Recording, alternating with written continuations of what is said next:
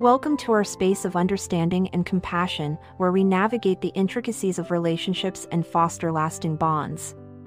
Recently, my brother, who is 15 years old, faced a distressing situation where he was falsely accused of inappropriate behavior, and it has deeply affected him. I'm 23, and our sister is 17. It's disheartening that such an incident occurred, and now I seek advice on how to help him through this challenging time. The incident occurred when I wasn't present, and my brother was in his room, engrossed in his phone. He got up to take out the garbage and returned to lie down on his bed. At that moment, he noticed the family dog coming out of his room, but he didn't pay much attention to it. Later, our sister discovered that some clothes were missing and, upon searching for them, found them in my brother's room, wet and slimy. Without giving him a chance to explain, she immediately informed our parents, and unfortunately, they jumped to conclusions, assuming the worst about him. An intense argument ensued between our parents and my brother, leading to hurtful things being said.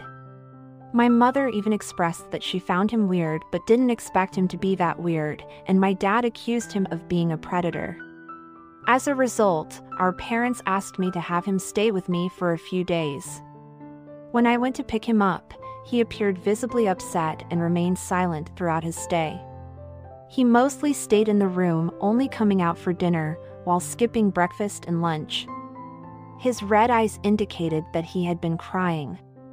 It's crucial that we support my brother through this difficult time and clear his name from the false accusations. I'm seeking advice on how to approach the situation and help him cope with the emotional distress he's experiencing. Any guidance on making things better for him would be greatly appreciated. I've never seen my brother cry before. When he's upset, he usually puts on a stone faced expression, so the hurtful words must have really affected him. Towards the end of the week, his parents called me and said they wanted to talk to him, so they came over. Before their arrival, I tried to reach out to him, but he ignored me. When his parents arrived, they apologized to him for the misunderstanding. As the week progressed, they noticed more of my sister's clothes in his room until one day, my dad caught the dog with my sister's clothes. My brother just acknowledged it with an okay and went home. I attempted to ask my parents if he could stay with me longer, but they didn't see it as necessary. Later, I received a call asking about his whereabouts because he had apparently been spending most of his days locked in his room at their house. To make him feel better, I'm seeking advice on how to support him during this difficult time. Some good news is that he can stay with me until Sunday. I had to bend the truth a bit with his parents to convince them to let him come.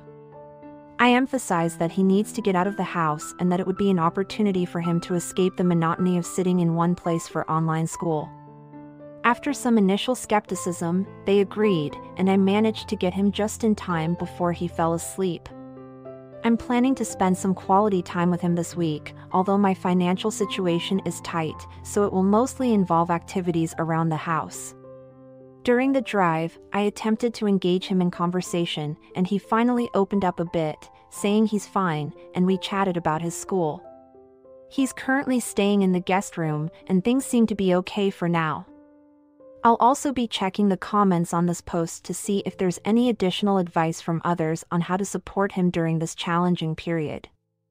It's clear that my parents' handling of the situation was far from ideal, and their words have left a significant impact on him. I hope, with time and understanding, we can help him heal and overcome this difficult experience. It is evident that they have wrongly labeled him as a pervert, and it's terrible that they allowed him to stay with you, another one of his sisters, after accusing him unjustly. This situation indicates that there may be deeper issues within the family concerning him, and that's truly distressing. He is just a 15 year old, and he doesn't deserve to be subjected to such abusive treatment. I sincerely hope that he starts responding to your texts soon. Perhaps you could take him out to do some enjoyable activities to show him that you believe in his innocence. The situation is truly awful, and my heart goes out to him. Taylor Loves Henry emphasizes the need for your parents to apologize to your brother, and I couldn't agree more. Their accusations have broken him, and seeking the help of a therapist for him as soon as possible could be crucial. Frog's Legs 12 highlights the gravity of the damage caused by your parents' actions. They have shattered his trust in them, and healing that breach won't be easy. It's apparent that they had already made up their minds before the accusation, and this might have been influenced by your other sister's actions. Consequently, he might also be feeling hurt and betrayed by her at the moment. Given the circumstances, your brother needs space and time to heal. Being at home and having to interact with your parents and sister is likely causing him more pain, even though they are his immediate family. If I were in your position, I would find the courage to tell my parents that their behavior was inexcusable. I'd also have a one on one conversation with him to see if he would like to stay with me for a few weeks. Assure him that you are there to support him no matter what. At 15, being accused of such things has undoubtedly taken a toll on his self esteem and sense of self worth, so he truly needs time and understanding to heal from this traumatic experience. At some point, it will be crucial to offer him reassurance that he is not the weirdo he has been unfairly labeled as. Being there for him during this difficult time is vital. Regarding your parents, it's evident that they would benefit from counseling, and even the babysitter might need some guidance. Their actions have caused significant harm, and now they must face the consequences of their behavior. Being a 15 year old dealing with such false accusations is undoubtedly challenging.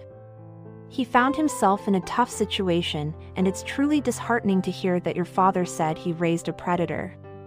It's clear that your brother is innocent, and it's regrettable that the misunderstanding escalated to such a hurtful extent. It's essential for him to know that slobber from a dog is nothing like what was wrongly implied, and it's a mistake not to recognize that. Let's now turn our attention to the update post, where hopefully we'll find some positive developments and clarity. In the update, I've been asked to provide information on the situation. Many of you suggested that my brother should stay with me, and although I did have him at my house for a week, I had to take him back to our parents' house this morning. As mentioned in the last update, he spent the first Monday at my place, primarily staying in his room, and our initial conversation didn't yield much progress. However, I managed to convey to him that our parents were wrong and that he was not strange or abnormal. Although he maintained a stoic expression, I hope he understood the message. On Tuesday, he mostly stayed in his room, but when I offered to go to McDonald's, he came out to eat at the table. During our conversation, which started as random topics, he started showing more interest when we discussed my Xbox. It's a small step, but at least he's opening up a bit and engaging in conversation. I'll continue spending time with him and being there for him in any way I can. He needs support and understanding during this challenging period, and I hope to gradually help him rebuild his self esteem and confidence. During our time together, we ended up discussing Madden, and he enthusiastically shared how skilled he was at the game. Despite my lack of interest in sports games, Preferring games like Cuphead or cartoon games, I bought Madden on Wednesday and asked if he wanted to play. To my dismay, the game seemed to cheat right from the start, with my player fumbling the ball, and he easily outplayed me. Surprisingly, he found joy in the game, even laughing a few times during our matches. We spent a good part of Wednesday immersed in gameplay. Thursday followed a similar pattern to Wednesday, with us playing Madden and engaging in more conversations. Although I initially wanted to go to the movies, the ongoing presence of COVID prevented us from doing so. Instead, we opted for Netflix, and while he still spent some time in his room, he gradually started coming out more. On Friday, I decided to approach the situation again and talk to him about it. I explained that I intended to talk to our parents and help them understand how their actions had been hurting him. I also brought up the idea of seeking professional help, as he had suggested earlier. However, he asked me not to discuss it with our parents, expressing that it would be better if the matter was left untouched. It was a bit surprising, but I respected his wishes as there wasn't much else I could do. Subsequently, we decided to take a walk together. Initially hesitant, he eventually agreed to join me after I convinced him. Our walk provided a chance for us to spend some quiet time together, and even though we didn't explicitly discuss the troubling situation, I hoped that being there for him in this way would offer some support and comfort. Throughout our time together, I've noticed some positive changes, him opening up more and finding enjoyment in activities like playing Madden. While the situation remains serious and challenging, I'll continue to be there for him, providing support and companionship as he navigates these difficult emotions. We spent more time talking, and it made me realize that I should make an effort to communicate with my brothers and sisters more often. During these conversations, I noticed he seemed happier, which was a positive change. On Saturday, or yesterday, we decided to switch things up and play some random games I had, opting for a break from Madden. While my game collection is not extensive, I believe he had a good time. However, as dinner approached, he grew somewhat quiet again. When I asked him what was bothering him, he expressed that he wasn't ready to return home yet. I didn't know how to respond, so I suggested talking to our parents to see if there was anything we could do. Nevertheless, he declined the idea again. Instead, I assured him that he could come to my house whenever he wanted. Today, he's back at his house, and although I wanted to discuss things with our parents, I respected his wish for me not to do so. As for the suggestion of getting him a therapist, he also turned down that idea. I reached out to my sister to check on her, and she mentioned that she tried to apologize to my brother, but he ignored her. However, I'll address that matter one step at a time. That's essentially how the week unfolded, and overall, he seemed much happier than the previous week. We continued to communicate through texts, and he expressed a desire to come back sometime next week. It's heartwarming to see the positive impact of being there for him during this challenging time. I'm trying to provide him with the space to rebuild himself and regain his confidence. I hope it's the right approach, and I genuinely appreciate the kind words from UOP. As for everyone else, I'm curious to know how you would have handled this situation if you were in my position as the sister or brother. Sharing perspectives can be insightful and helpful in supporting my brother as he continues to heal and overcome the difficult experience he's been through. Hello, everyone, it's time for another story, and this one is truly shocking, bizarre, and almost unbelievable. Are you ready? Let's dive in. After 40 years of marriage, my husband dropped a bombshell on me. He admitted to having an affair with his cousin for most of our marriage. Shockingly, his cousin passed away in a car accident just three weeks ago, which has left my husband visibly depressed and acting unlike himself lately. Upon returning home from work one night, he had our two children stay over at his mother's house and prepared dinner for us. After the meal, he asked me to sit down and mentally prepare myself for what he was about to say. And then he revealed the truth about his affair. In essence, the affair began when his cousin seduced him at the age of 13, while he was 16. Their sexual involvement continued into adulthood until he started dating me. Once we got married, their activities ceased, but they resumed about four years into our marriage when she apparently convinced him to continue the affair discreetly. For context, we've been married a little over 15 years, and this situation lasted until about three weeks ago. It's beyond anything I could have ever imagined, as my husband never exhibited any suspicious behavior, like coming home late or leaving any traces of another woman. Now, I find myself at a standstill, not knowing how to proceed. I'm still in shock and unable to find the right words to say to him after his blunt confession. The emotional pain is overwhelming, and I'm left feeling lost and unsure about what to do next. Tears are still flowing, and I'm desperately seeking guidance on how to navigate this unexpected and devastating revelation. Any input or advice is appreciated. It's truly shocking to discover that she had been cheating all these years, and I'm struggling to understand why he chose this moment to confess. I acknowledge that honesty is essential, and revealing the truth is the right thing to do, but it's perplexing why he decided to open up after she's no longer with us. While I don't condone secrecy, one can't help but wonder why he didn't keep it a secret. Considering he has already been dishonest, the question arises why doesn't he simply continue with it? What compelled him to confess now, even after her passing? I find it difficult to comprehend. In my opinion, I have no tolerance for infidelity, and I believe OP should prioritize their well being and leave the situation immediately. It almost appears as if he's seeking permission to end the relationship. Though it's unclear why this discussion is on Reddit, I still stand by the advice to leave and protect oneself from potential future heartache. If he was willing to engage in such behavior with his cousin, one might worry that he could repeat it with someone else. However, that's just my personal viewpoint. Let's see what others have to say in the comments section below. Doc Sternu's comment reflects a strong sentiment regarding your husband's actions. It's not only about the cheating itself, but also the fact that he couldn't keep it hidden even though it would never have been discovered. The confession seems to be more about him seeking solace after the loss of his cousin than saving or repairing the marriage.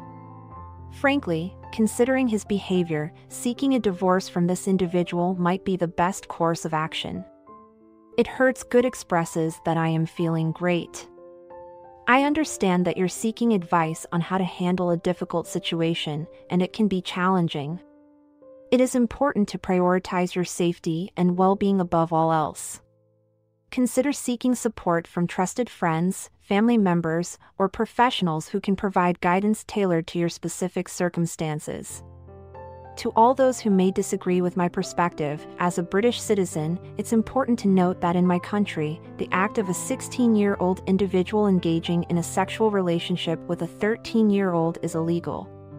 Furthermore, it is unlawful for two individuals under the age of 16 to partake in such activities. Additionally, there are laws prohibiting intimate relations between cousins due to social norms and ethical considerations.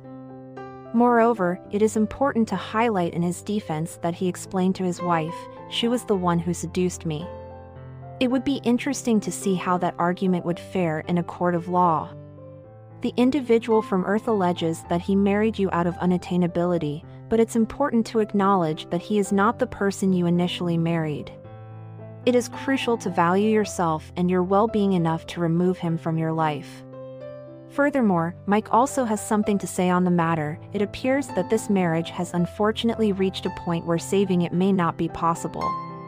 Over the years, there have been significant issues of deception within the relationship, even involving a family member. I understand that you may be feeling hurt and frustrated in your current situation. It's important to approach your advice with empathy and a focus on finding resolution. It might be helpful to calmly discuss the option of separating and creating a co parenting schedule that benefits both you and your children. Prioritizing the well being of everyone involved, including yourself, is essential. While it's natural to feel anger, I would encourage avoiding further negativity or revenge tactics as they may prolong the healing process for all parties involved. He has recently encountered an extraordinary life lesson that is sure to leave a lasting impact. Karma has a way of catching up to people, and it seems like this person is finally facing the consequences of their actions. It's important for you to distance yourself from them and focus on your own healing and growth. You deserve better than someone who has deceived you for an entire decade. Remember, staying strong and not allowing them back into your life is crucial. It's reassuring to see that others agree with the advice given, sometimes it takes an outsider's perspective to recognize the truth. Going through a divorce can be an overwhelming experience, and it's completely understandable to feel uncertain about how to handle it. However, you are not alone in this journey. Many resources and support systems are available to help you navigate this difficult time and come out stronger on the other side. Remember that seeking professional advice, leaning on loved ones, and taking care of yourself emotionally will all play a pivotal role in helping you cope with the divorce effectively. No matter how you choose to address the situation, it ultimately lies in his hands. He is the one responsible for the pain caused, so perhaps it's best to let him face the consequences and find a way to rectify his actions. On a brighter note, greetings everyone. I trust you're all enjoying a wonderful day. Now, let's dive into another captivating edition of Storytime with yours truly. Get ready for a mind blowing story that is sure to captivate and astound you. Brace yourself for an extraordinary journey into the realm of the bizarre and unbelievable. Are you intrigued? Let's plunge right into this remarkable tale. I had the most wonderful relationship with my ex boyfriend for four incredible years. Our bond was so strong that we decided to take the next step and moved in together after two years of dating. We were overjoyed and truly content in each other's company. I had such high hopes for our future together that I even made the bold move of relocating to another country when his job required him to go to Europe. It was a testament to my commitment and deep belief in our love story. During our time together, I couldn't help but notice that his girlfriend, who happened to be a 25 year old woman, didn't seem too fond of me. Despite my efforts to connect with her on numerous occasions, I eventually had to accept the reality of constantly receiving indifference and sarcastic comments from her. X was aware of this fact and confided in me, admitting that she had a limited circle of friends. She expressed doubts about her ability to establish meaningful connections with other women. Despite being the only woman in a group of seven guys, I must say that all of them have treated me with utmost respect. On the memorable night of December 31st, 2019, we decided to ring in the new year together at a lively party. While I chose not to consume alcohol and remained completely sober, unfortunately, X indulged excessively and became quite intoxicated. The following day, I was startled to discover that all of my belongings had been neatly packed. He informed me that our relationship was over and it was time for me to find a new place to live. I was caught off guard and utterly bewildered. The shock of being accused of infidelity by him left me deeply troubled. The mere thought of engaging in such a deceitful act is abhorrent to me. I vividly recall shedding tears, pleading my innocence, but despite my heartfelt protests, he still chose to excommunicate me from his life. I was touched and grateful when my best friend and her boyfriend generously offered me an open invitation to stay at their home. Their warm hospitality without any hesitation made me feel truly welcome. It's truly heartwarming to witness the genuine love and sweetness of this couple. When I look back on that difficult period, I did my best to navigate through everything. The weight of it all led me into a deep state of sadness, affecting my appetite, sleep, and overall well being. It felt as if I were merely going through the motions, barely feeling alive. When I shared the details of what had transpired with my family, their response was deeply emotional. They empathized with me and expressed a strong desire for me to return home immediately. Given the circumstances of living in another country and the ongoing pandemic, it was a rational decision not to travel and risk their health. Unfortunately, during this time, our mutual friends and even his family members seem to have turned against me. This situation further highlights the importance of prioritizing safety and well being above everything else. It is unfortunate that you have been unfairly labeled as a cheater and subsequently abandoned by those who supposedly supported you. It can be disheartening when your character is called into question without proper evidence. However, it is important to remember that true friends and supporters would take the time to hear your side of the story before making judgments. Online, some individuals spread false and hurtful claims about me, labeling me as promiscuous and dishonest. The resulting rumors had a profound impact on my well being, prompting me to completely remove myself from social media platforms and block those responsible for the slander. At that point in time, all I desired was to vanish from this virtual space. However, as fate would have it, one fortunate day I became acquainted with a companion through the introduction of my closest confidant. From the moment we first met, I couldn't help but notice how incredibly adorable and kind he was. Our friendship blossomed gradually as we began to engage in conversations and connect through video calls. As time went on, I found myself developing genuine feelings for him. Despite the unfortunate rumors surrounding me being labeled as a cheater, he stood by my side and refused to believe any of it, showcasing his unwavering trust and understanding. I was pleasantly surprised when he invited me on a virtual date, and without hesitation, I gladly accepted. Our virtual dating journey began, and I can confidently say that it has brought immense joy into my life. He is like a guiding light, illuminating the path ahead and bringing hope into my life. However, things took an unfortunate turn when someone from my ex's circle leaked a video on Instagram. In this video, my ex's girlfriend shamelessly boasted about their deceptive plan to break us apart. It seems that she went to great lengths to manipulate the situation by paying someone to deceive my ex. This person fabricated a story suggesting that I seduced him at the New Year's party and engaged in intimate relations. After the news got out, there was a sudden influx of messages and calls from my ex's friends and family members. Even my best friend, who had my back, kindly dismissed their attempts to reach out. Then, my ex showed up at my doorstep, desperate for a conversation.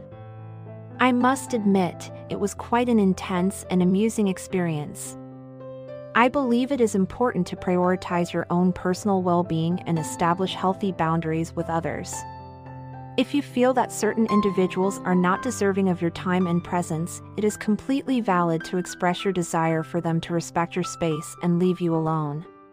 Taking care of yourself should always be a priority. I understand that you're feeling torn about the situation with X, especially considering your parents' perspective. It's natural to experience conflicting emotions when it comes to relationships and communication. While it's important to consider your parents' opinion, ultimately the decision of whether or not to open a line of communication with X should be based on what feels right for you. Take the time to think about your own feelings and boundaries. If you believe that having a conversation could potentially provide clarity or closure, it might be worth considering giving him a chance. However, if you're concerned about being too hard on him or unsure about re-establishing contact, it's perfectly valid to prioritize your own well-being and choose not to engage at this time. Remember, creating healthy boundaries is important in any relationship. Trust yourself and do what feels authentic and respectful towards both yourself and others involved.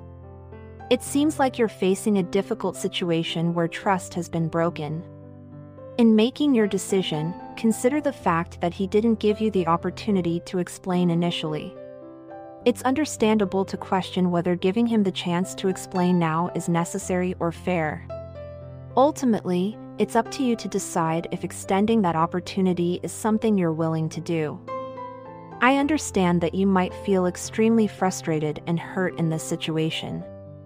It's completely valid to choose to move on with your new partner and embrace the joys of life. However, it's important to remember that these comments are just opinions. Let's explore the discussion below and see if we can find any helpful insights. For instance, Slytherin suggests not wasting time if they were in a similar position. It's frustrating when someone doesn't listen to your perspective and then suddenly expects you to give them the consideration they should have shown you from the start of the year. It's important to address this imbalance and communicate your feelings assertively.